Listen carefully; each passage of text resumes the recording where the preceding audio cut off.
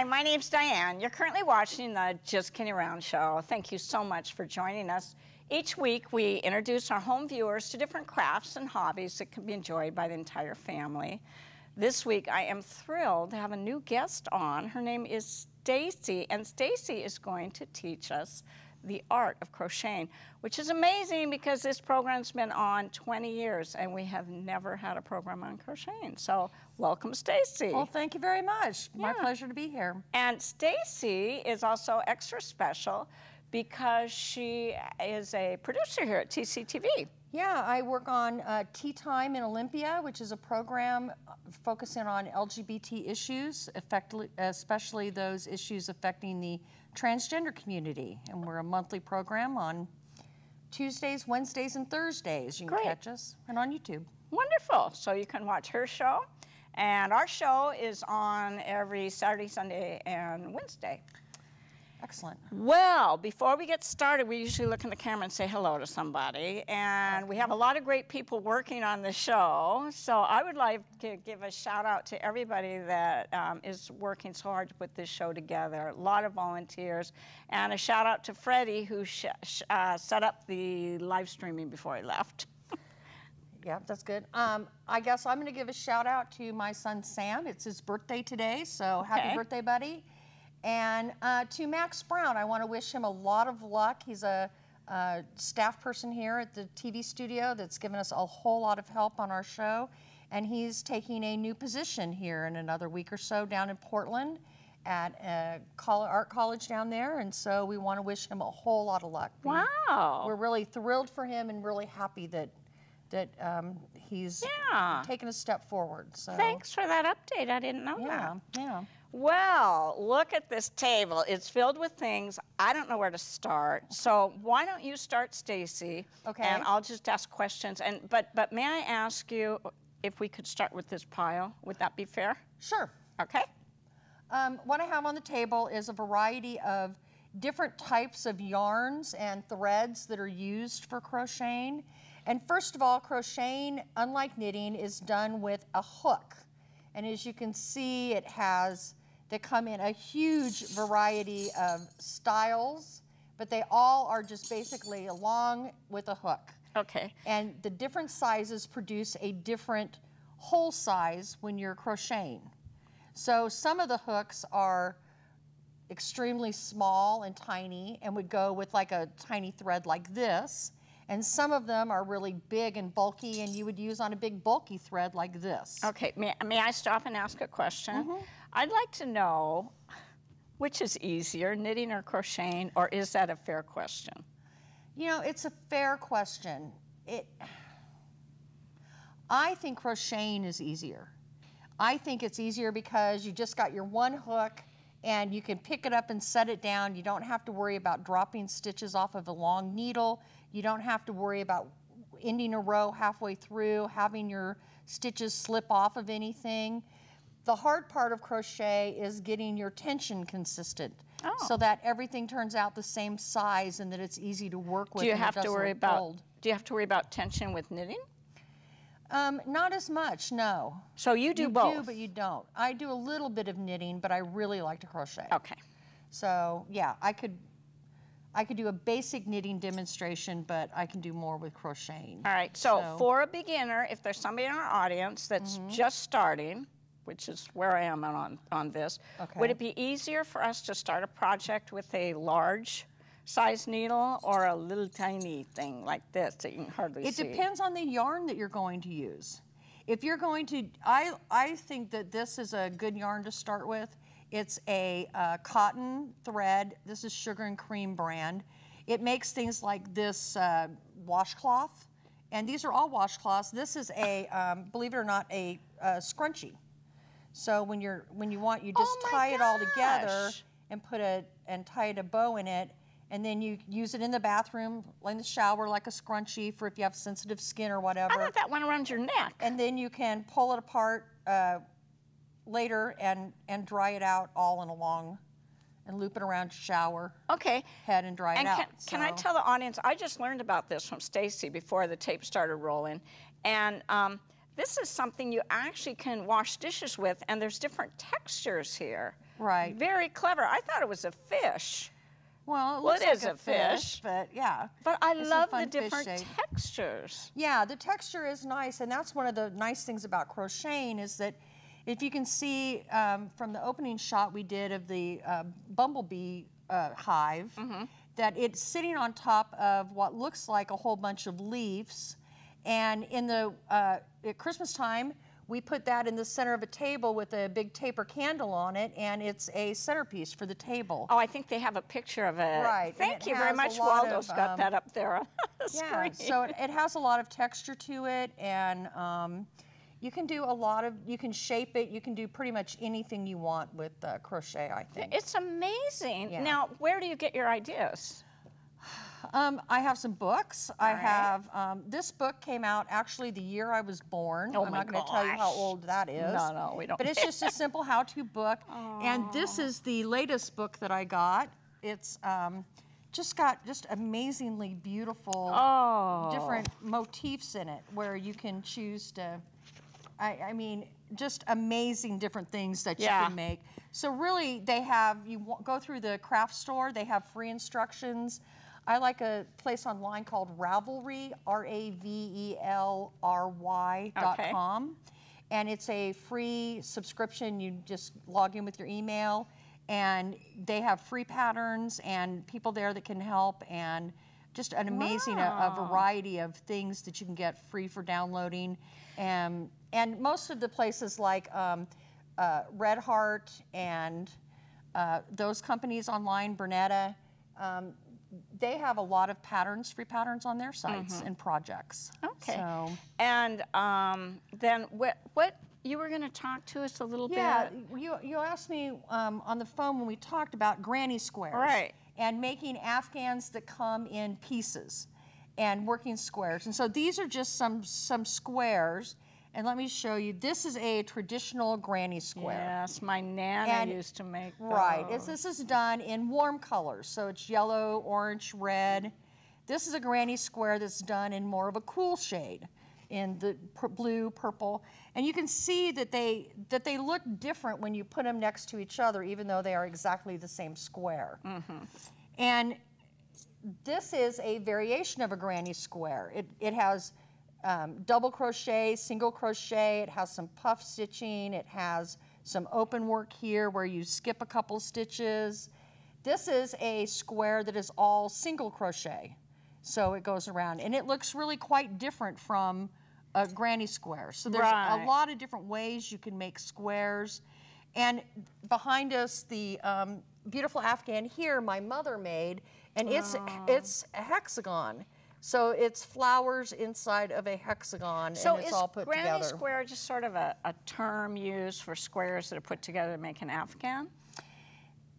Or is there a component in all of them that Yeah, there, qualifies them there to- is, it is kind of a generic term. However, this is a traditional granny. That's what I think of. This is when, Not when it's a granny this so square. This is a, Yeah. No, but in the Woman's Day Book of Granny Squares, That was listed. Hexagons are there, Oh, my and you can. Um, you can. They have um, nowadays. It's popular to crochet circles and then put squ- corners on them Oh my goodness. at the edges. So there's a lot of granny square variations out there, So or square variations. How long? I mean, I know it's hard to estimate, but but each one of these s- squares took uh, hexagons took about how long?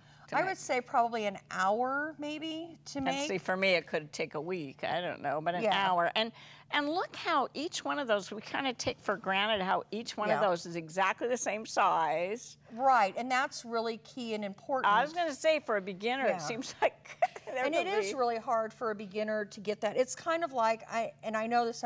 If you've ever quilted anything, Mm-hmm. when you put a quilt together, if if they don't line up, if they're off a little bit, then everything gets cattywampus, and it just takes a little Oh, bit yeah. of, it, of it not being lined up to get it out of control. get it out of control and make it kind Yeah. Mm-hmm. of wonky, and then it doesn't lay right when you put it out there. So we take a lot for granted with this. Right. And so, how Right. long do you think the whole thing probably took? Oh, my mom made that. She would pick it up and then set it down Yeah. and pick it up and set it down.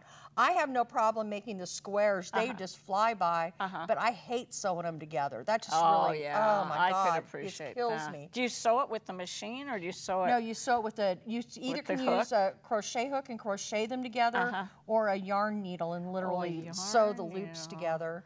Um, this is called a bobble stitch. I like that one. And I, I like this one I too. like. I did this one. This is where the, it, it's a study of dark and bright and contrast. Oh, they have a close-up right now. Thank you of her her mom mother. made that her after. mom made that, and her mom has since passed away. And Mm-hmm. what a legacy! What a thing to pass on. You know, I love that. Then that it's functional, and it has her DNA all over it. I mean, she's Yeah. probably smiling wherever she is because that that's It it's really on is TV. beautiful. Yeah, and it's really beautiful. It is beautiful. It's so colorful and happy. And Yeah. It's got about every color, so you could decorate your bedroom and whatever. Or Afghans aren't necessarily for bedrooms, are they?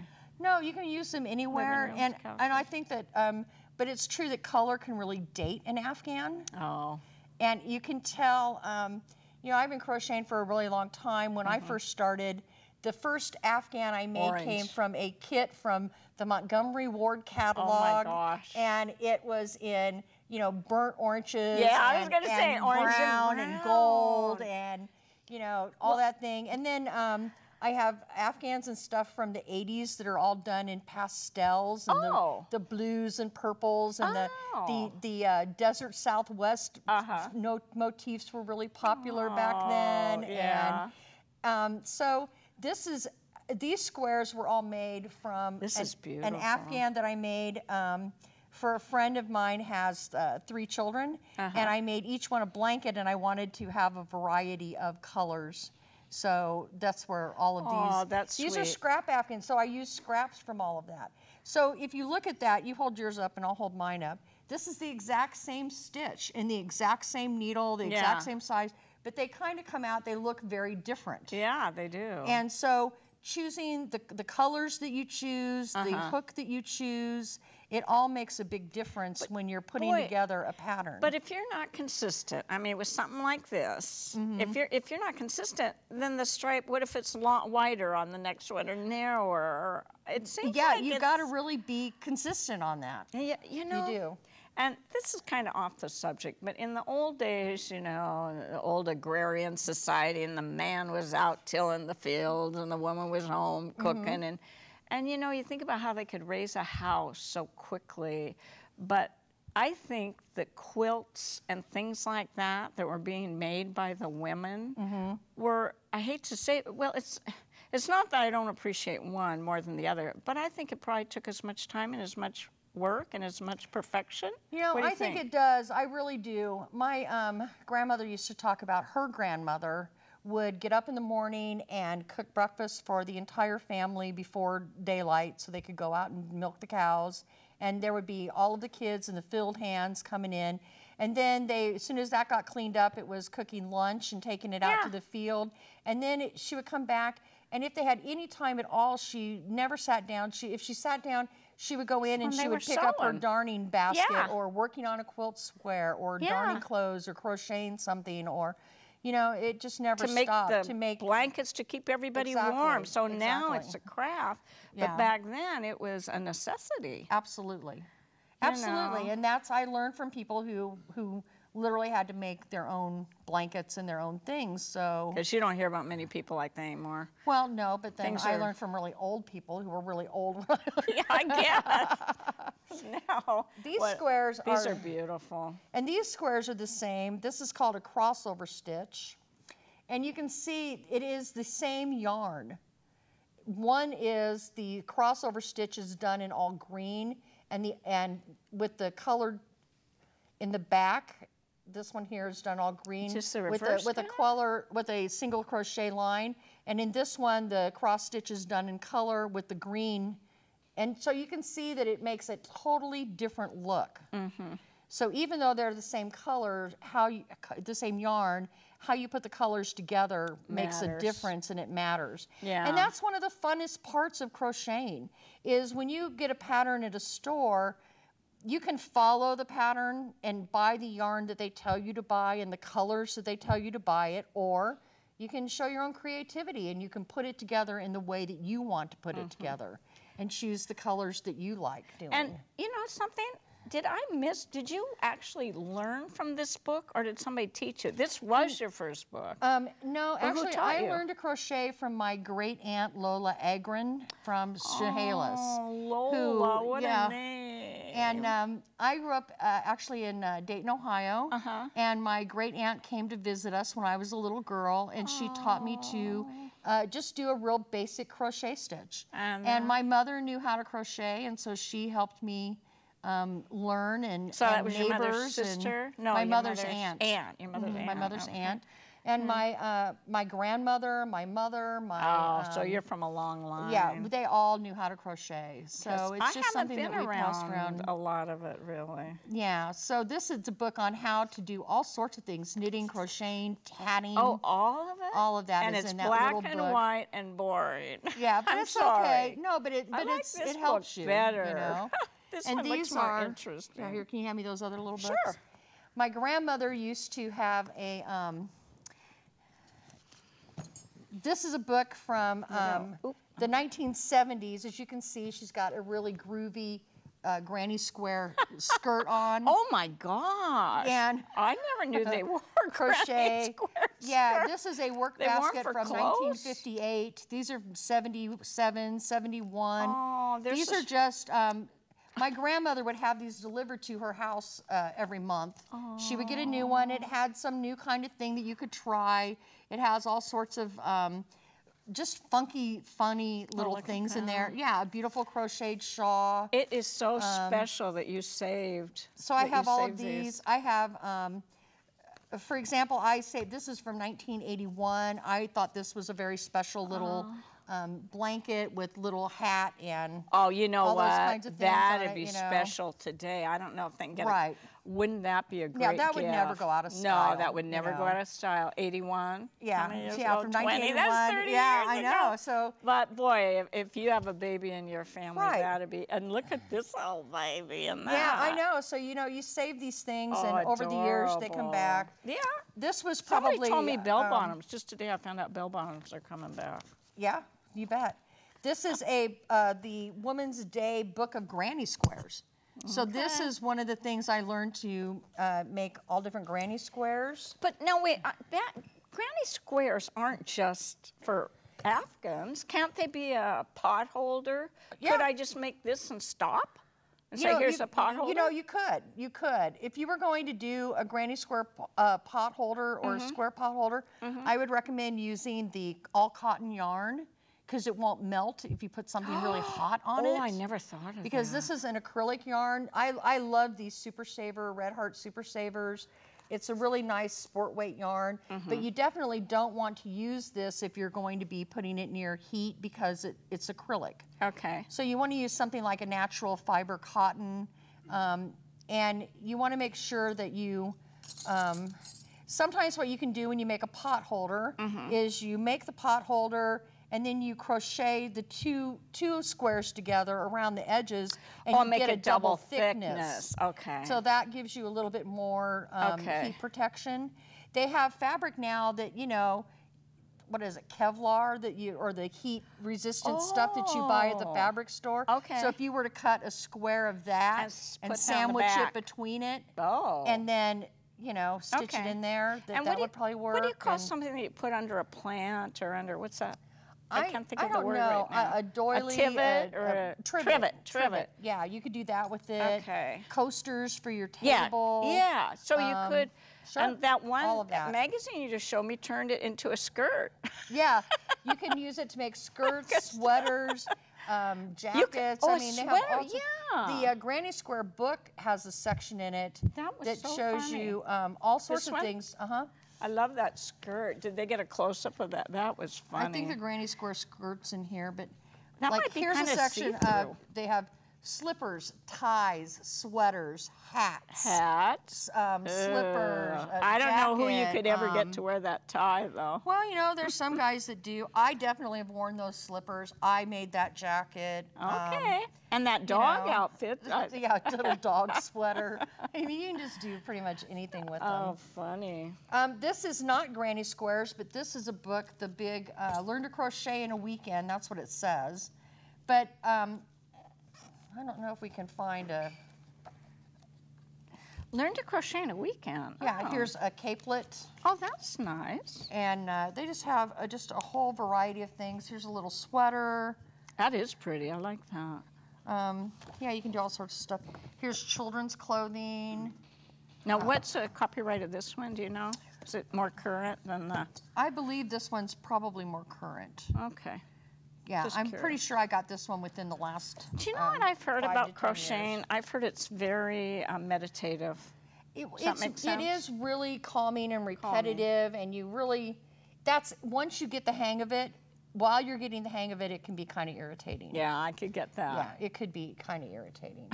and so when you make things like this is a uh, baby booty kind of sock. Darn. You make it out of baby yarn. Okay. Just a really, really super small. You would use um, one of these hooks here that is much smaller to get the proper size for that. Um, and this is a really large yarn. It's almost like polar fleece material that's been extruded into a yarn instead of made flat. Feels. so I it's like the really feel of it. warm. It's really soft. It's really fuzzy. Have fibers come a long way? Fibers are, have come a long Yeah. way, and they're really different. This is a uh, a really soft, frothy yarn. Oh, I love It's it. it's still pretty big. It's not quite as big as this one, but It's it's, like still a bathrobe large. or something. Yeah, it does. It feels like a chenille, Yeah. kind of a chenille bedspread or Yeah. a soft. What? um, Tell me the story of these. I love. I love fingerless gloves. These are made um, flat. They're made in one piece and they're flat. So when you start them, you do slip stitches in the back stitch and then some single crochets and then uh, slip stitch. And then come back down and you make your thumb piece. I'd like to do a show just on making these. Sure. And then you do the palm piece and it's really, it's, you know, twice as wide as this. Yeah. And then you get to the other side and you make another thumb and then you fold it in half Oh, and and you you sew it up it this side and Got then sew it. it. up there. Is that the way these are always made, or just? Well, that's the way I make them. I love I'm them. sure you could make them around, but I like to make them that way because when you do the slip stitch in the back stitch, it looks like you've got a rib. Got it. So- um, do you know what some people call these? Texting gloves. Yeah. Isn't that funny? Yeah. I think that's funny. You know what, Yeah. Staci? Something just happened. I couldn't believe. Uh, We just got the warning sign to wrap it I up, know, and we haven't even started. anything, so- is so funny. Well, maybe I can come back and we can. Well, we've got three again. minutes. So, in three minutes, what would you like to say, or could you start? Step one is buy yarn. Step one is buy yarn. Step one is how to get tension. And you start out by putting the thread over your little finger, around these fingers, and holding onto the knot with these fingers. And that leaves this edge open. And then you use the needle to hook it through and make the loops. So if, uh, you know what, our home finger up. viewers could do that, would you promise to come back again and give us step two? Absolutely. I, Okay. will, I would be more than happy So, to do that. so for for them to go out and get the yarn, you've shown us about five different yarns here. Which yarn are they going to go out and buy? What do they do? Um, I would buy one like this, a nice sport weight, or one like this. If you want to start off with something like a washcloth, which is pretty easy. Yeah. And um, I I would look would for do. things that are on sale. I would see if anybody has um, any yarn that they can give you that they're not using anymore, just Smart a scrap thinking. to practice on. You can buy crochet hooks in uh, groups like this, or you can buy them one at a time. Okay. I recommend getting a nice G hook, A G. a G like George, G. and a G Why did you say that? Which one is Um, G? Is this, is G? a nope. This is a G hook. It's it Why is the right size for this yarn, Ah. and it is a pretty universal in patterns. It's it's sort of the go-to hook for many, many patterns. Okay. So it's a good hook to learn on. And just try YouTube. I mean, if you go to YouTube and say how to crochet, it will it will tell you, yeah. It, Once you- again. So you lay your hand down and you put it through your finger from the palm side, and then you squeeze your finger a little bit and bring it around, and then you hold it between your your Okay. ring finger or your uh, middle finger and your thumb, and that helps stabilize everything. Okay, so I'm going to grab it out of your hand. I know Okay. this is being rude. So, No, go ahead. looking at your palm, putting lie this over the Uh-huh. palm, bring it up under your other three fingers Uh-huh. around here, and I'm going to work on some sort of tension. Well, when you Oh, I feel no, you don't want something. to. You want to hold it with with one of these fingers, One of those fingers. Okay. and then when you And were they supposed to then tie a loop there? There's a I loop tie there? a loop at the end of my yarn just to make it, Okay. and then when you yeah here hold it with your finger where the bottom loop is, and then you use your, your other hand to hold the loop. Nope, at the knot. You know what? You might have to tune in later for the rest yeah, of this. yeah. Okay? Try YouTube. So How to this- crochet on YouTube Yeah, is another you. good one. Yeah. Look for us on YouTube too. We're, are you on YouTube? Which where where do they go on YouTube? Um, on, we're on Tea Time in Olympia is our Okay. YouTube, but we don't do craft stuff on that. Okay, but but you could go to Just Kidding Around Diane Miller and Uh-huh. find this show again, and uh, you always have permission to tape our shows, even though we're wrapping it up now. Yeah. Uh, Staci's going to come back and teach us more. Sure, you So bet. she kind of introduced us now, and get yourself before our next show, get a hook, possibly a G hook, and Uh-huh. I love your idea about looking for things at garage sales or. Yeah, really, because you're just sale. practicing, and before you do, before you invest in a bunch of yarn for a big project, Got I it. really recommend that you just get. I'm using scrap yarn right now to Got work it. on this project. Well, thank you, Staci, for right, joining us. Diane, no Thanks to a fabulous crew. Uh, we appreciate you donating your time, and there's chicken in the lobby. Bye. Thanks, and join us again Saturdays, and we're on Sundays and Wednesday night too. Thanks to our audience.